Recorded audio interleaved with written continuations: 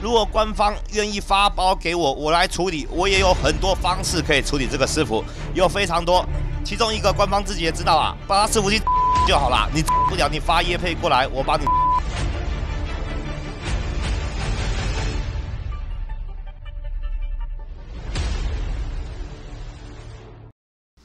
在上个月，我发了一条影片，在说一拳超人师傅。那个时候呢，有一些实况主认为一拳超人不会有师傅，但这个也不是重点啊。总之呢，当时我也说了，我认为这个师傅他是真实存在的，这个画面是真实的，而且他真的会开放。想不到，真的也开放了。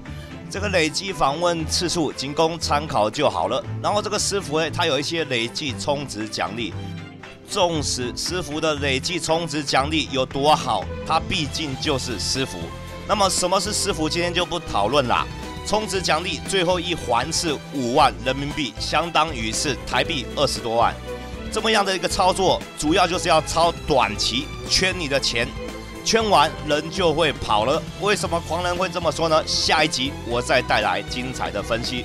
先来这边看一下充值比例，一比二十，首充还双倍。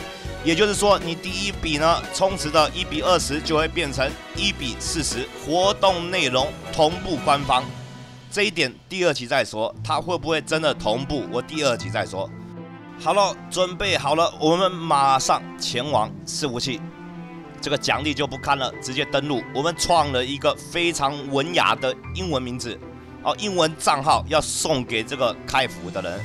当然，师傅登进来还是跟以往的一拳超人一样。首先你要先看这个动画，还是疫苗人、医疗人员超人，不不不最后抽老点，不不不不，然后杰诺斯的画面会卡了两秒，也不知道为什么。然后啦啦啦啦，疯狂的啦啦啦啦啦啦啦，等级越来越高。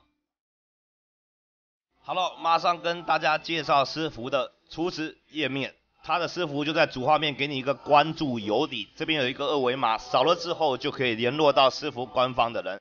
同时，我们也可以看到这个师傅黑券是一百经费，强者之眼是六百钻石。那么储值的部分最大的金额是五千块钱人民币，相当于是台币两万多。这也是第一点，你要清楚，要抄短线，首先要卖的礼包最高的就会卖的比较高。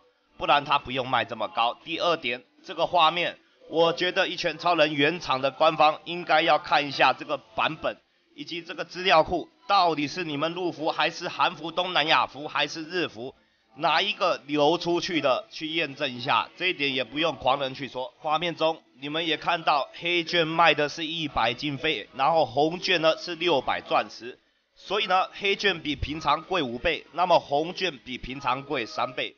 黑券贵五倍，如果你除值是划算二十倍，你除以五倍等于只有实际是划算四倍。在这一点，我们就可以认定这个经营者的良知，我是打上一个问号的。就好像啊，你去一个摊子要买一颗苹果，他跟你说啊，今天这颗苹果我便宜二十倍给你，哦，本来一颗二十块，现在一块就卖你了。但是。本来二十块是苹果的老板说的，实际上这颗苹果原本只有四块钱。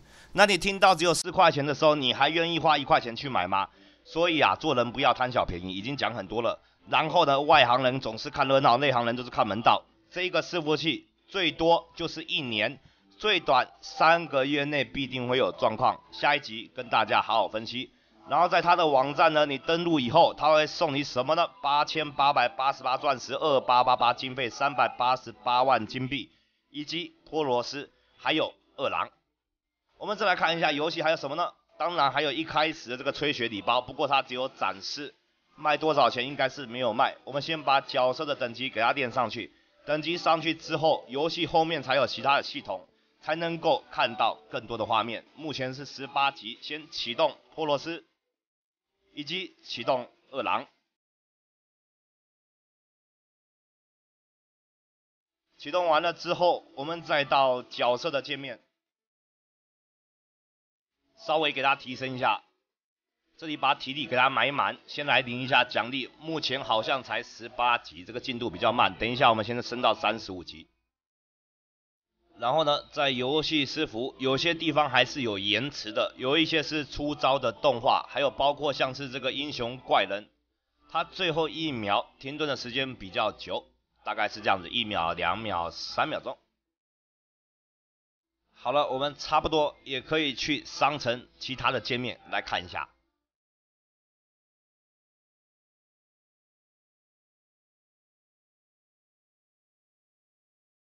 在这个地方，原本卖三百六的卖三千一百二十八，那有一些卖三倍贵，有些四倍贵，有些是将近十倍贵。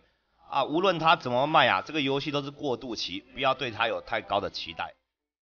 在极限挑战这边，由于新手礼包送的都是二郎跟波罗斯，所以大家都是带上这些角色。这边领完之后，我们等一下再到另外一个活动界面，看看又有什么东西。这里看起来跟原版的也是一样，这里也是一样。这边等级十五级、三十级，还有招募奖励，还有一个每日报酬，每日储值送你一般的文字，还有累计在线时长，这个好像比较少见。还有一个主战力提升到五千、一万、两万、三万、五万，啊，送你绿色的装备。我们这边随便开一个绿色的装备来看一下什么东西。哦，这个绿色的优秀扩展卡随机箱。看完之后，我们再到竞技场看一下竞技场的奖励有没有变化呢？摆上波罗斯，摆上二郎。好嘞，我们把它跳过吧。我们看看什么奖励，还是一样哦，钻石七十六。最后我们再来抽卡，组织的界面也是一样，没有任何变化。我们去抽卡。这边强者券一张是六百钻石，打八折的话是四千八。抽卡的几率跟正服一样，私服没有比较好抽，一模一样。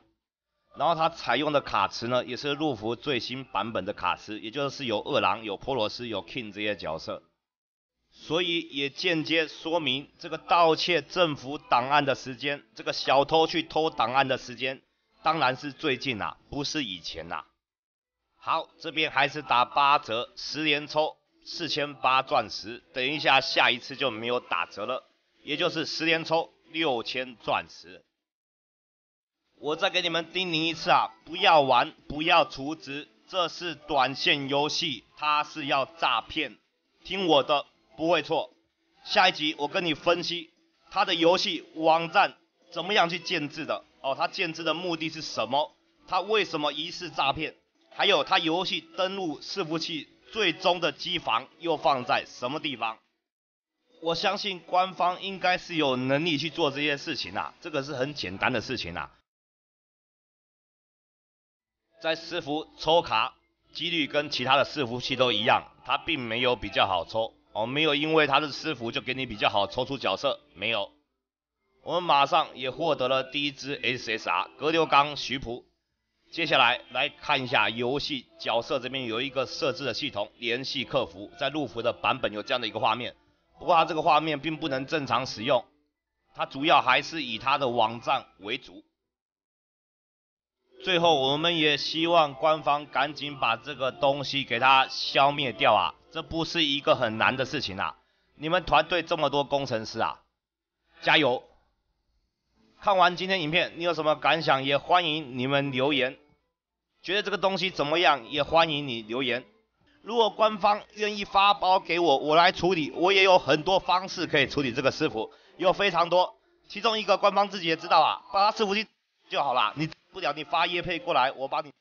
不然赶紧派人呐，从机房下手啊。好啦，那祝福官方顺利。